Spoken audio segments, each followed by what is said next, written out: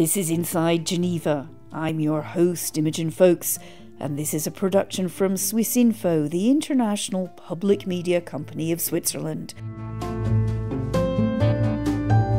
In today's programme, it's quite blatant that um, when we like what the International Criminal Court is doing, we will support it, but as soon as it steps out of line, we'll call it a ridiculous institution. So it is a, a bit of a crossroads for international law. There is universally universal jurisdiction, if I can put it this way. Every state having ratified the Geneva Convention should have a national law that enable them to try every war crimes whenever the suspect is on their territory. 50 years ago or 60 years ago, we as society would not discuss about those types of human rights violation the same way. Now we have the law, at least my generation or young generations that tolerate much less those types of violation and we are reporting more. International law might seem to be being broken on a daily basis with no enforcement, but the enforceability of it comes in sometimes surprising ways when you're least expecting it and it's more enforceable than we think. Violation of international humanitarian law creates even more hatred, and if you want to live in peace afterwards, that helps to respect international humanitarian law during the conflicts. Hello and welcome again to Inside Geneva. I'm Imogen Foulkes, and we have a very special episode for you today and a very topical one we recorded the podcast with experts and an audience at Geneva's Graduate Institute. Our question Is international law dead? So, without further ado, here's what that sounded like. Welcome to you all. We've got what I hope is a um, provocative but actually pretty topical question to ask today, and that is Is international law dead, and maybe what better place to discuss it than here in Geneva at Geneva's Graduate Institute with experts and with students as well. To welcome our panel, we have here Professor Andrew Clapham. Some of you probably know him, Professor of International Law here at the Graduate Institute. We have Cristina Figueira Shah, a student here, very important, I think, to get the younger generation to comment on a body of law, much of which is getting on for a century old. And we have guardian of the Geneva Conventions here, that is Laurent Gisel, and he's head of the Arms Unit and Conduct of Hostilities the International Committee of the Red Cross. We're going to talk for about 25 minutes to half an hour, then we will gladly take some of your questions. But let's kick off first. I've got a really basic question. It's maybe too basic sometimes for a Geneva audience, but not for our listeners across the world. And I'm going to start with you, Andrew Clapham. What does international law actually mean to you as a person, as an academic? Ooh, I wasn't expecting that. Uh, it's my life.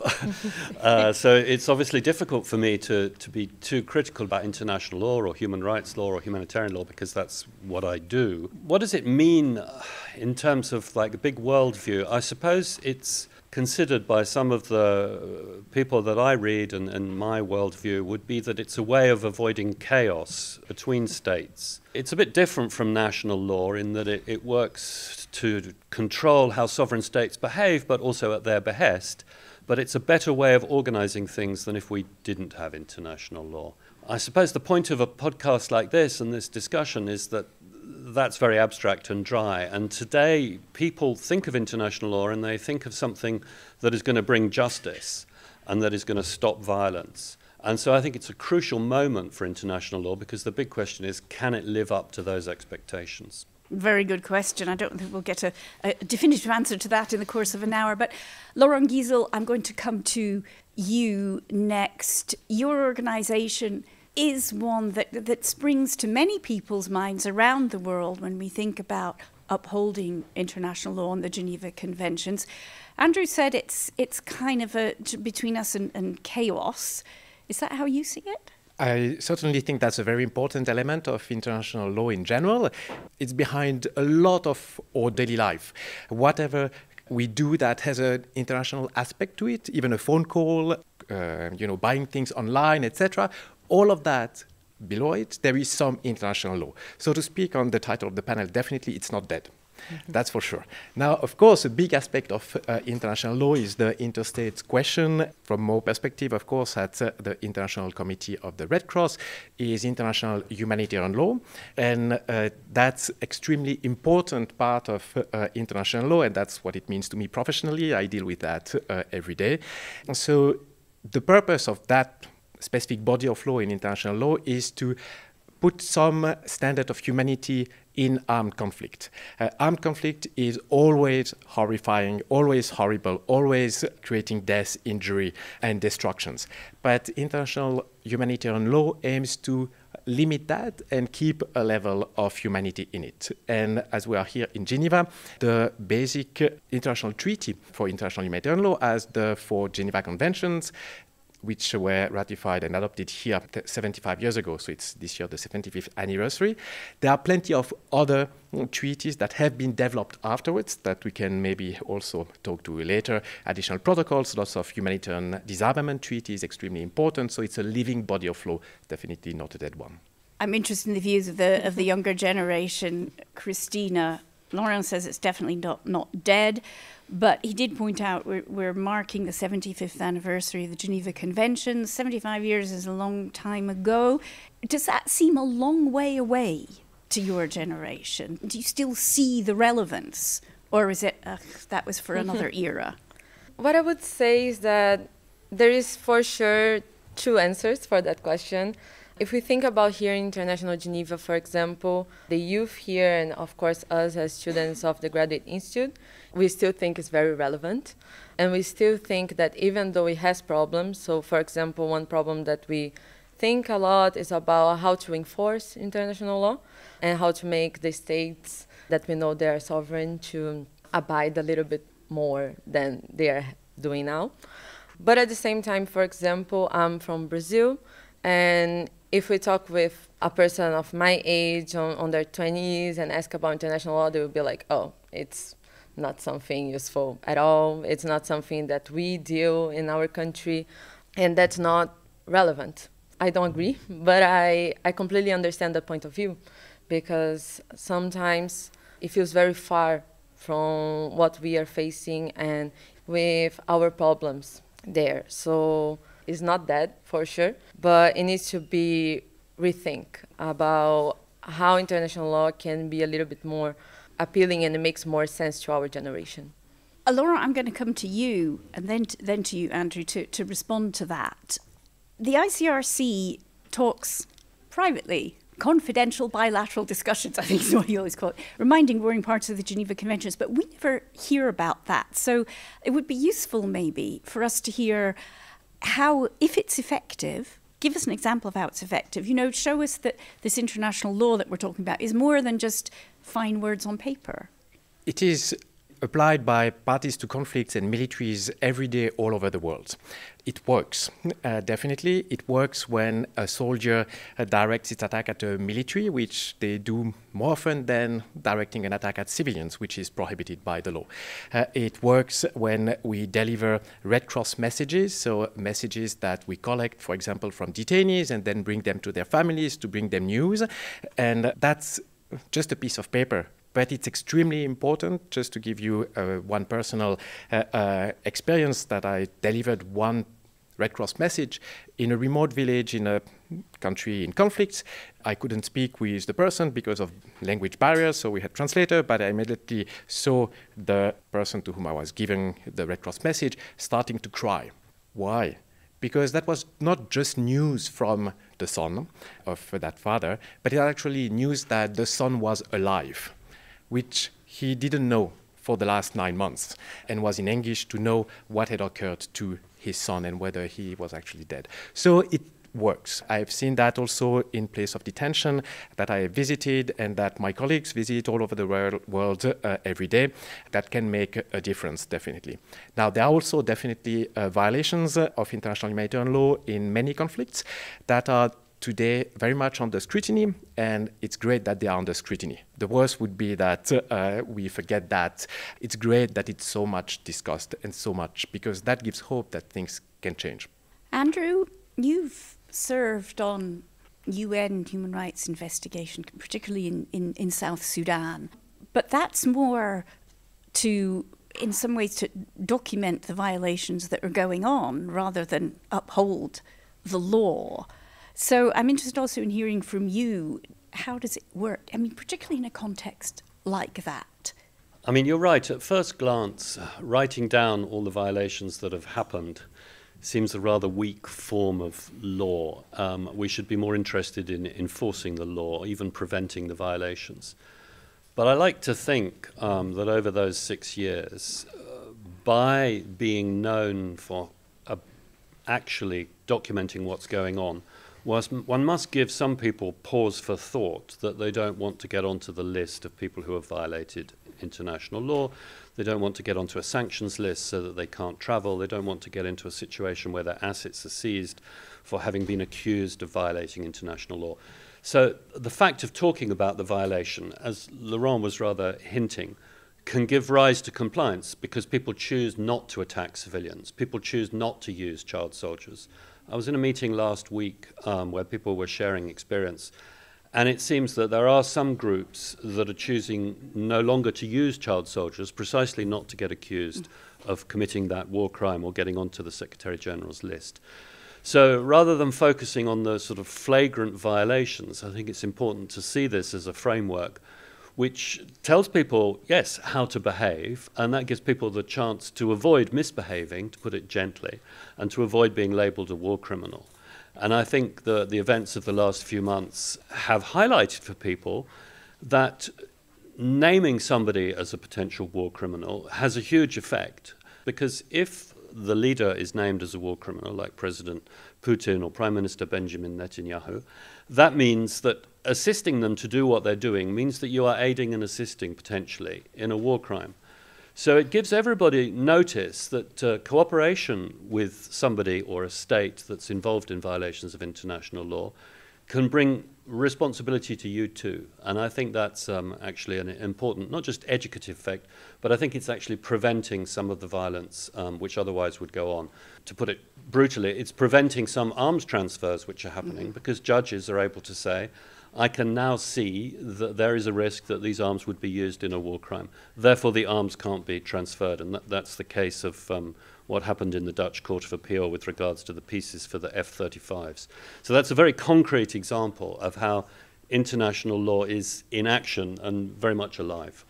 We're going to come on a little bit more to the current uh, tussles, if you like, over over international law and the role of of, uh, of international courts in a moment. But Cristina, I wanted to ask you again. I don't mean to say, oh, you're you're the young person. You have to represent all young people, but you are young.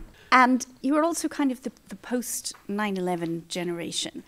And the ICRC did a study two or three years back, maybe a couple more than that, where it, asked young people their views on different aspects of international law, and particularly the total prohibition on torture. Now, a significant proportion of younger people in developed countries in the United States and, and, and Britain said they thought torture was permissible if it brought results if it prevented terrorism. Now, you're saying when you talk to your friends in, in Brazil that they also don't necessarily see international laws especially useful. What would you say to them to change their minds? Actually, I think I will try to explain to them how, of course, it's not perfect with international law, but without all the conventions that we have, for example, it would be very hard to actually get to some outcomes. In South America, in Brazil, I can talk a little bit more in depth about it. We also have problems with torture and in institutional aspects in different times of our history. For sure, we can address those types of problems through the international conventions if we have them.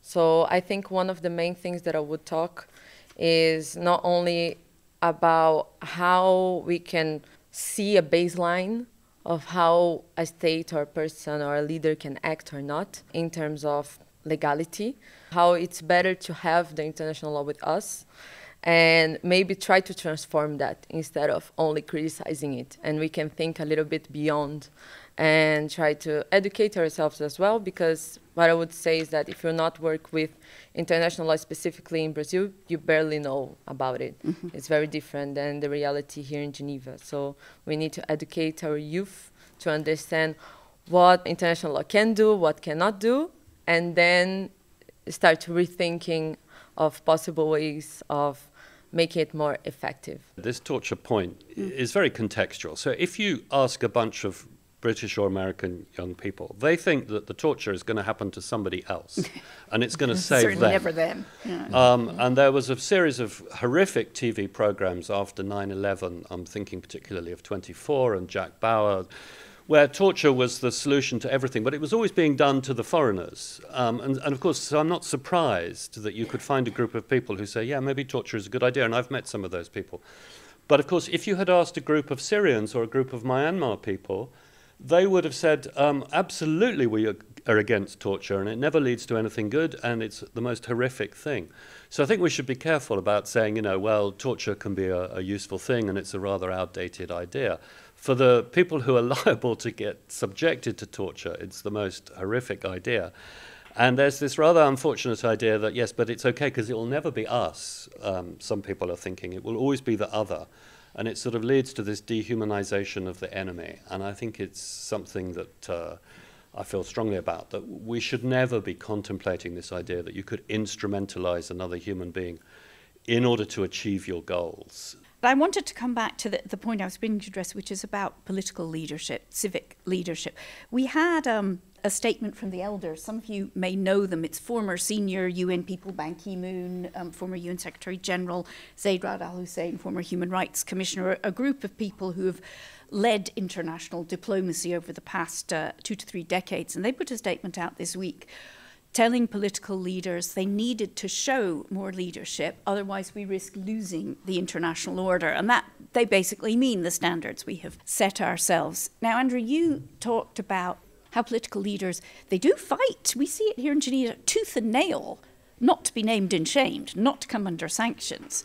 But at the same time, we do well. I wonder from all of you whether you think this is a growing tendency, or it's always been like this, a kind of tendency to politicize international law in the sense that if criticism is directed against me or my mates, well, it, I don't believe in this law. If it's directed against somebody I currently happen to not like, then it's fine. We had quite a lot of questions online ahead of this about double standards.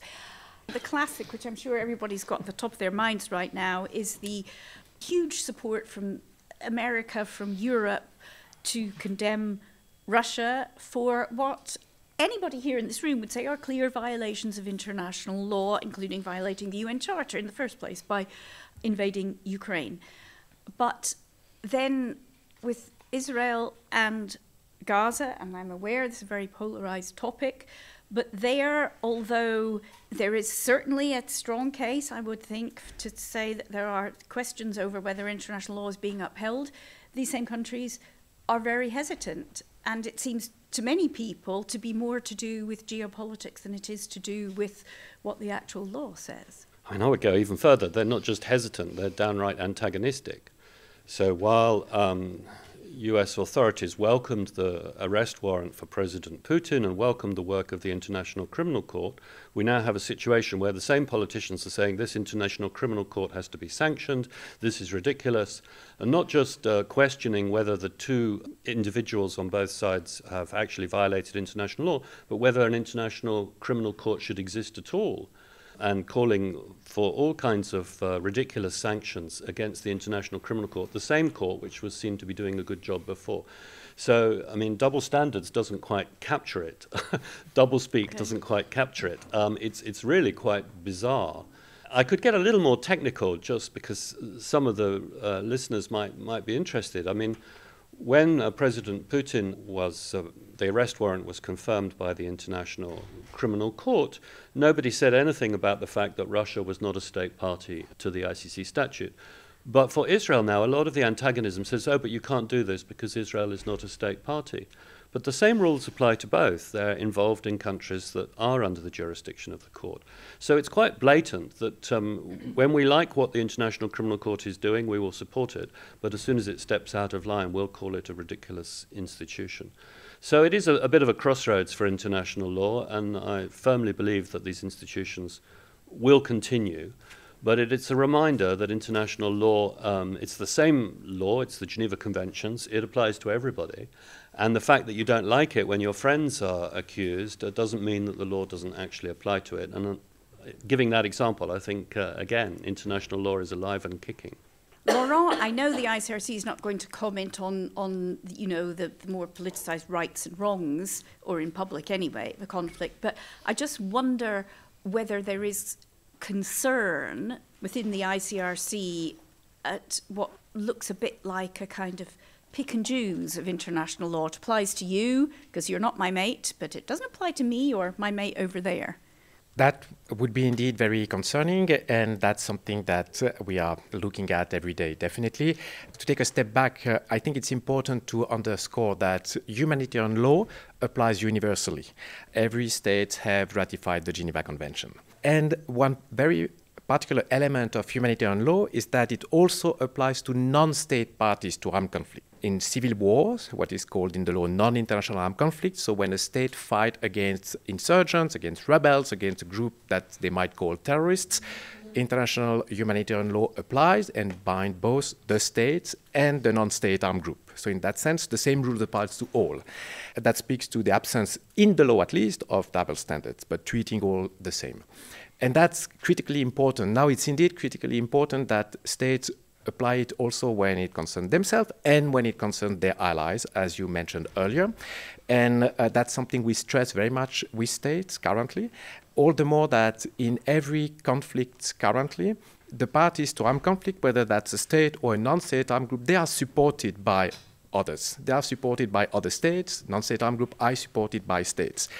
And whether that's through political support, economic support, direct arm transfer, as Andrew mentioned before, uh, or otherwise, even if it's not about weapons transfer, the fact that you have influence on a party to the conflict, whether that's a state or a non-state armed group, that's an influence that you can use to actually ensure respect for international humanitarian law. That's very much something that we also discuss.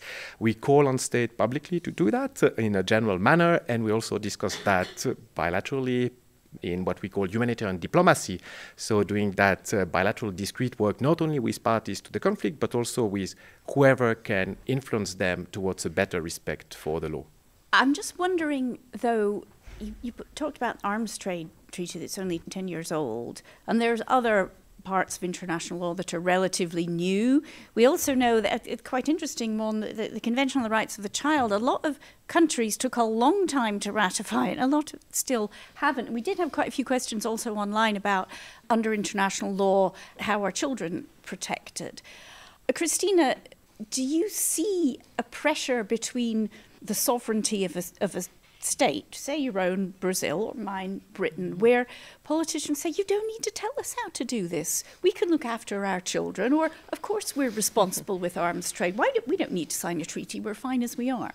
I think definitely there is a, a little bit of sovereignty discourse as we're talking about the rights of children. But at the same time, there is a convention, and for example, in my case in Brazil, we have our own domestic convention that also applies the International Convention of Children's Rights. So we can see that there is at the same time the domestic sovereignty but we try to make the rights of children the most important thing we have a lot of like policies, public policies on um, how to, for example, famine is a problem in our country that is growing, unfortunately, in the past five years, especially among children in vulnerable positions in the north of our country from indigenous descent.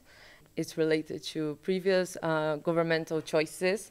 For example, our ex-president, he has international charges against him in related to genocide of indigenous communities and and maybe you, Laurent and Professor Clapham can talk a little bit more about that as well. Andrew, I saw you nodding there. I'm just wondering if you also see this that increasingly some governments see international law as kind of mission creep, that they don't, they just don't need it. Or is that just populist? Is that just election talk? I think you just put your finger on it. I think it's populist election talk. I was reading my English paper this morning and I noticed that there was a government minister saying that they would put in the Conservative manifesto probably the idea of leaving the European mm. Court of Human Rights. I mean, if you put it now in the context of an election, it's a way of getting votes. Um, or not. Or not. um, I lived through some of the discussions here in Switzerland uh, about foreign judges mm. And the political maneuvers, again, more recently after the climate change case, uh, to not just sanction the European Court of Human Rights, but to start again this discussion about Switzerland leaving or the UK leaving. And it's seen as, as you quite rightly say, foreign interference, but often there are a lot of uh, lies about the court. If you go through some of the propaganda that the populist parties put out about the European Court of Human Rights and you follow up the cases, they're often distorted to make it sound as though the European Court of Human Rights has ensured that an incredibly violent person has been allowed to stay on Swiss territory or UK territory. When in fact, when you go through the details of the case, it's really rather different. So um, it's a popular demon, uh, international courts, whether it's the International Criminal Court, the International Court of Justice, the Gouvernement des Juges étrangers. All of this is designed, in my view, to sort of whip up support for particular parties. And I think we have nothing to fear from international courts is my view. But of course, I'm a little biased. I've worked with these courts. I've even been true. on the secretariat of some of these bodies. Um, and so I come from the sort of internationalist Geneva perspective. Guilty as charged. Yes, well, we probably all are sitting on the same in the same dock on that one. But um, it is. You've been very patient. Time to turn to you for questions. So we've heard about political manipulation of international law. We've heard about why it is relevant from people who work on the ground trying to uphold it. And we've heard about the younger generation and whether they're committed to it, whether they see it's, it's relevant. Over to you. Do you have any questions? You've mentioned a little bit about how um, armed groups are avoiding use of child soldiers. We've heard about uh, military manuals incorporating international law. But I wonder if you look at any of the major conflicts of the last 50 years, Balkans, Chechnya, Iraq, and all the conflicts that we have currently, um, can you give examples of how international law has actually reined in the conduct of hostilities? I think this is this is a very good question because I think it it's the one thing you could use to convince people who are saying, "Oh, it's just a bunch of do-gooders, do-gooding lawyers writing papers." I think I'll start with the ICRC. Go on. Armed conflicts are always horrible. Let's be clear on that in the first place. They are horrible even if there would be perfect respect for humanitarian law. Armed conflict as such is a horrible phenomenon that is created by human beings that should be prevented in the first place and that states and the international community should work on that and find political solutions to that, especially for long-lasting conflicts. Now, with regard to international humanitarian law, whether it has reined in, yes, uh, every day. In conflicts, you have military who do collateral damage assessments, so uh, as military says, so meaning before doing a strike, assessing how many civilian casualties they expect, uh, assessing whether they expect to incidentally damage uh, hospitals or uh, an electricity station or uh, the house of a family. And they do that every day. So that's definitely reining in. Whether that's sufficient, whether that's sufficiently well done, uh, uh, whether that's sometimes uh, disregarded, of course, there are issues in that respect, and respect for humanitarian law needs to be improved. And that's linked to political decisions. Let's be clear political decisions on whether or not to uh, respect uh, the law. And that's why the political aspect that you mentioned before, um, Imogen, uh, is so important, not only with regards to political and civilian leadership, with regard to their own troops, but also from other states. But uh, uh, definitely, it makes a difference, and it has made a difference in the conflict over the last 50 years. It will not make conflict human, for sure. Conflict in and of itself is an inhuman matter. Andrew? I'm going to choose one example um, of landmines. the, the sort of push by civil society to have a landmine ban treaty was obviously successful. In fact, the landmine ban treaty doesn't actually, on its words, cover the non state actors that are fighting um, against states. And yet, the sort of feeling that this is against international law, I'm sort of choosing my words so as not to be sort of thought to be legally illiterate, led to a number of armed groups um, refusing to use landmines because they didn't want to be seen going against the international norm. And perhaps, you know, you're asking for concrete examples. I mean, through the work of groups like Geneva Call, those same uh, armed groups or non-state actors, uh, rebel groups, chose to destroy their stockpiles of landmines so that they couldn't fall into the hands of other armed groups or be used again when there was a change of leadership. So if you're sort of looking for sort of ratchet effects changes, I think there is a diminishing use of landmines amongst some of those groups. And it's not just because they ran out of money or they couldn't get hold of them, it's because of this normative sense that there's something wrong with it and it's delegitimizing because of the, the role of international law. So without the landmine treaty and without those meetings about landmines, you wouldn't have this push. And the international legal pull against using them, I think, has an effect, yes. Laurent, you wanted to come in there. That's a very powerful example for non-state armed group, as you mentioned, also for states, and it's uh, measurable with the number of victims going down tenfold compared to before the treaty was in place. The number of civilian victims of mines has been uh, divided by 10. But there are also everything that we see less and don't make headlines, and again, it's the preventive aspect to it. Probably much less people know about uh, the prohibition of blinding laser weapons mm-hmm. than the Mine Bans Treaty. Why? Because it has been prohibited before they were developed. And it was prohibited 50 years ago. So, one effect of humanitarian law over the, la- the 50 years of the conflict, uh, uh, to, for your questions, is that there was no blinding laser weapons ever being deployed because those were not developed. Imagine if the landmine treaty had been adopted before mines had been industrially produced how much even more it would have made of a difference. So that's, uh, that's key, and that's something that continues developing. The weapons treaty that prohibits uh, uh, specific types of the most horrible weapons have evolved since 1980 continuously, on average every five years, and the latest one is the treaty prohibiting nuclear weapons. Finally, having also a treaty for weapons of mass destruction after the prohibition of chemical and biological weapons. So that's the most recent one, and it continues. And today's situation show how relevant it is. Cristina, are you reassured by this? Because at, at, the moment, I agree that these two examples, they are very positive ones. But what we see on our TV screens, and maybe that's the fault of my profession, but what we see is what looks like deliberate attempts to terrify the civilian population. We've seen in Ukraine the attack of, of uh, attacks on the power supplies, uh, denial of aid access. We're seeing this in Gaza as well, uh, restricted aid, what looked like disproportionate attacks on civilians. I mean, I'm just wondering, is that oh my God, people are just not respecting them? Or is it good that we're reporting on them because we actually know, we, maybe we know our international law better than we thought? I would agree with Professor Clapham about how there is a change of normative and a behavior change. For example, maybe 50 years ago or 60 years ago, we as society would not discuss about those types of human rights violation the same way. So I do think that is something important that now we have the normatives and we have the law.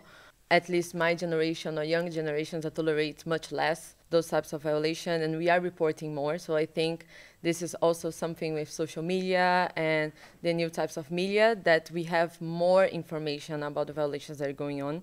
So we can be more vocal about it even though that we are far away physically from the, the places of violation. But at the same time i also know that it's an ongoing problem. Many parts of conflicts non-state actors or state actors they do not apply the humanitarian law and they do not follow the basic human rights laws. Andrew, I mean, this is a key question, is it? The enforceability. We do have these courts. They, their wheels grind rather slowly, mm. faster for some than others. It doesn't seem like obligatory, it seems kind of optional.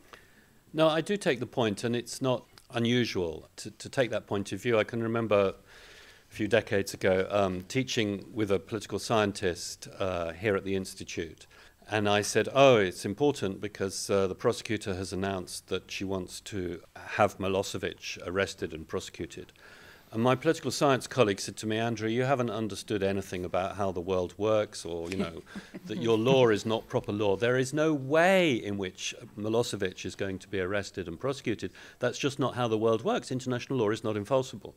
And of course, he was eventually arrested and prosecuted. And so my sort of answer is international law might seem to be being broken on a daily basis with no enforcement. But the enforceability of it comes in sometimes surprising ways when you're least expecting it. And it's more enforceable than we think. When General Pinochet traveled to London uh, to see a doctor, he probably had an idea that international law was not very enforceable and not very important, and that national law was all that counted. And his friend Margaret Thatcher, you know, would be meeting him for tea, and nothing could happen to him, and all the rest of it.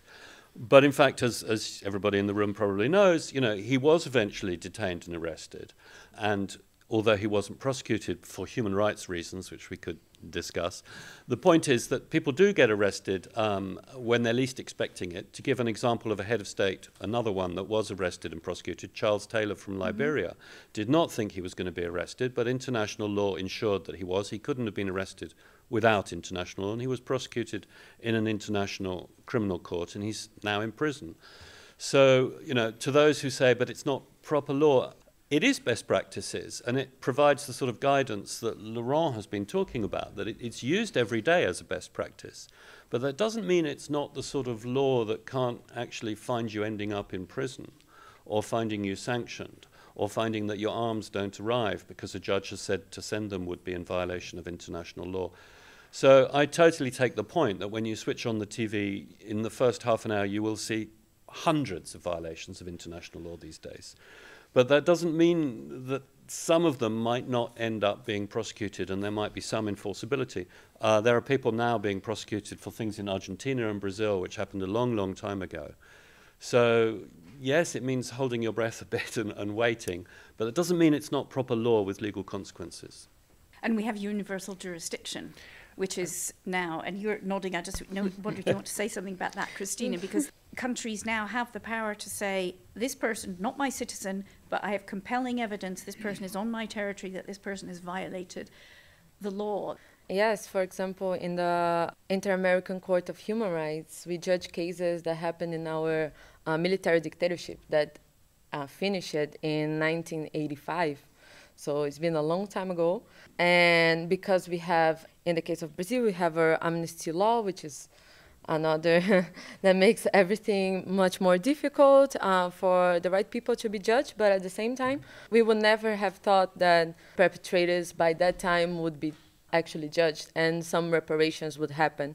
And we are seeing this very effective. And for example, we had a very uh, famous journalist that was killed by, by this military junta, Vladimir Herzog, that it took, I think, 30 years for the right people to be condemned and judged, and Brazil needs to make reparations in many aspects, financial reparations, but also created a monument in his regards and create a dictatorship museum so people could remember. So, of course, it takes much longer than we want to, but at the same time, we can still see good results.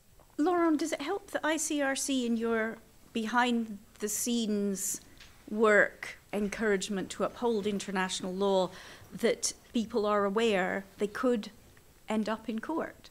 We are very much convinced by the value of uh, enforcement in the sense of uh, criminal trials for uh, war crimes or serious violation of humanitarian law, which is the same thing. And in that sense, the development of the International Criminal Court is hugely welcome.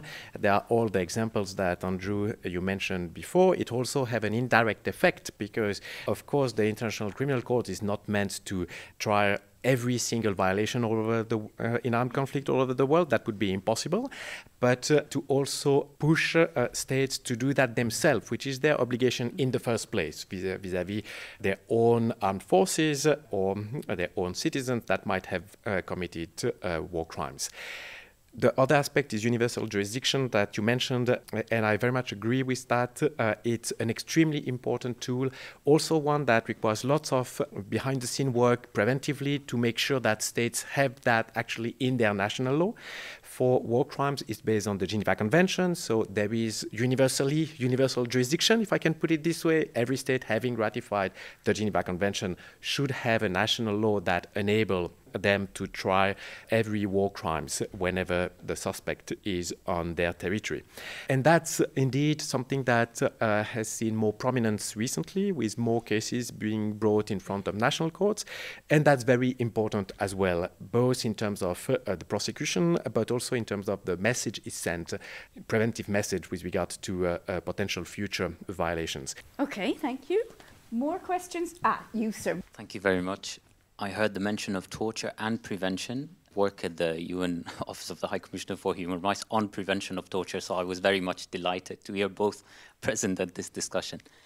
And it reminded me of the discourse of the late um, Kofi Annan and Boutros Boutros Ghali on the preventive aspect of the work of the United Nations and how lots and lots and lots of conflicts and catastrophes that we don't hear about have been prevented by the force of the United Nations and the multilateral system. But what comes out is what has not been able to be prevented. And in that sense, I wanted to shift the, the topic to multilateral system as I work in it and our faith in it is on the line. We see that the United Nations is being choked, liquidity crisis, enough to walk around in the Palais des Nations, you see uh, empty rooms, uh, escalators off, too dark. Um, states sanctioning UN officials, um, closing down our offices, 200 of our personnel killed in only one conflict in the past few months. My question is Are we close to the fourth turning and, uh, and faith for the United Nations similar to that of the League of Nations, in your opinion? Well, that is a topic for a whole other podcast, isn't it, mm-hmm. really? I would hope not. As a summing up, because we are coming to the end, and I'll start with you, Andrew. What would you say to the powerful who still call the shots? Yeah. It's in your interest. It's in all our interests. Why do why we need uh, international law and to a certain extent the multilateral system? Convince. Uh, it's great. so, so I'm Trump. Convince me. Well, I mean, I know I, it's not hard, a stretch, but speak to you as I would speak to Trump. I think not for public broadcasting, but um, no. I mean, I think uh, today's problems clearly require multilateral solutions and international cooperation. If you want to talk about preventing a future pandemic, if you want to um, ensure that we deal with climate justice, if you want to tackle issues of migration, all of these issues are going to have to be resolved by states talking to each other and finding ways to cooperate. I mean, we have the metaphor of the escalators being switched off in the Palais des Nations. But I was actually yesterday with somebody, and I told them I was going to be doing this talk about, you know, is international law dead? And they came from the WTO. They said the WTO park, car park has never been fuller. There has never been more activity. Uh, the fact that it's not resulting in treaties that you read about on the front page of uh, Tribune de Genève is, is not the point because people have to organize moving around of medical equipment, moving around of essential drugs, dealing with cholera, all of these questions, patents on medicines. So there will be international cooperation. And at a certain point, the powerful can step away from that and they can use their muscle to say, I'm not joining this treaty. But the world will move on. And I think it's in their interests. I've been in enough treaty negotiations to realize that powerful states, they need to be involved because they want the world order to be fixed in their interest. And they don't always get their way. Cristina, so I'm not Donald, now I'm Barron Trump. what would you say to him, a teenager, a, a billionaire teenager? This is actually really relevant to you too. I think I'll, I would like tell him to read history a little bit more, um, because we need to go back to how the international system was before we had all the international law treaties to understand the importance of them now, and to understand what our generation can do to improve it instead of just um, it or just thinking as uh, referring back to, to my friends and colleagues back in Brazil, useless or not that important anymore in today's world. We know that it's still international law, the main way in international cooperation, as Professor Clapham said, that we can prevent future conflicts and future pandemics and um, future international problems that we need to. The world nowadays is much more close together and globalized, so it's not that likely that one country is facing one problem and it will stick in that one country. So I think we should go back, understand the, all the reasons why we got um, to this point at first place of how we wrote all the international treaties and understand from that on what our generation can do to improve it. Pretty much the same question to you, Laurent, but maybe focused on the Geneva Conventions, because my great grandma knew what they were. She was trying to find out where her husband was in the war. But almost a century on, it seems less. How would you convince people this you could need this this you, you, you do need it and you could really need it personally at some point I very much agree with you, uh, Cristina, with regard to looking at history. The Geneva Convention, as you say, they are 75 years old. 49, that's just after the Second World War. And that was based on the experience of the Second World War, which, of course, is the most horrible conflict that we ever seen, with the most violations of anything that you can think of, with uh, weapons of mass destructions being used. So it's the big power to point back to your questions on how you convince the strong ones. They decided to make the Geneva Convention because they learned from the Second World War. And today's big powers should remember that the Geneva Convention and humanitarian law have been designed for high intensity conflicts. They are meant to apply there and to reduce and prevent the most horrible aspect of it. So that's the first part of the answer. Then the second part of the answer, of course, complying with international humanitarian law. You have all reasons to do that uh, because it's the law. And uh, you don't want to break the law, you don't want to be a war criminal. We have discussed that earlier. You have all reasons to want to do that because you reduce suffering. Uh, so that uh, bring a little bit more humanity in a horrible situation. And then you need to think about the future, and that's where also I see the win win. That helps peace. If you respect humanitarian law during the conflict, it will be less difficult to make peace afterwards. At all level, both in terms of reconstructions and living, if you have uh, less destructions of civilian infrastructure, if you have less territory that has been mined, it's easy for economic recovery, which of course helps as well, and it also helps avoid too much hatred. Of course, conflicts create hatred, but violation of international humanitarian law creates even more hatred. And if you want to live in peace afterwards, that helps to uh, respect international humanitarian law during the conflicts. Thank you very much. Well, that brings us to the end of this panel discussion. I hope we've convinced you all that not only is international law not dead, but it remains hugely relevant to every single one of us, both in here and out there and all around the world. My thanks to our panelists, Andrew, Cristina, and Laurent. And thank you for joining us. That's it from Inside Geneva for this week.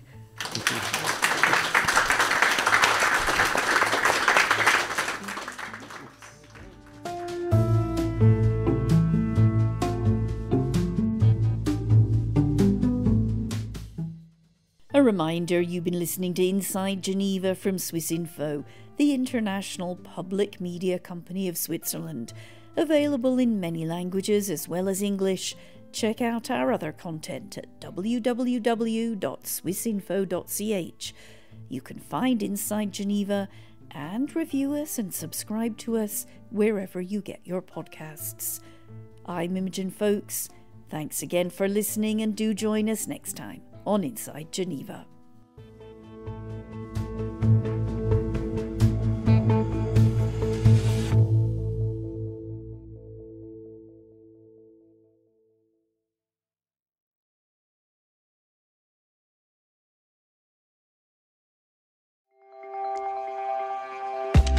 Discover science and innovation in Switzerland with the Swiss Connection podcast. In the current series, we visit CERN and explore what they're up to next in their quest to solve the mysteries of the universe. We uncover groundbreaking discoveries in a Roman archaeological site and get the first glimpse of an exciting supersonic plane powered by hydrogen. From the tiniest particles to the vastness of space, satisfy your scientific curiosity by listening to the Swiss Connection podcast for a mind expanding experience with Swiss Info.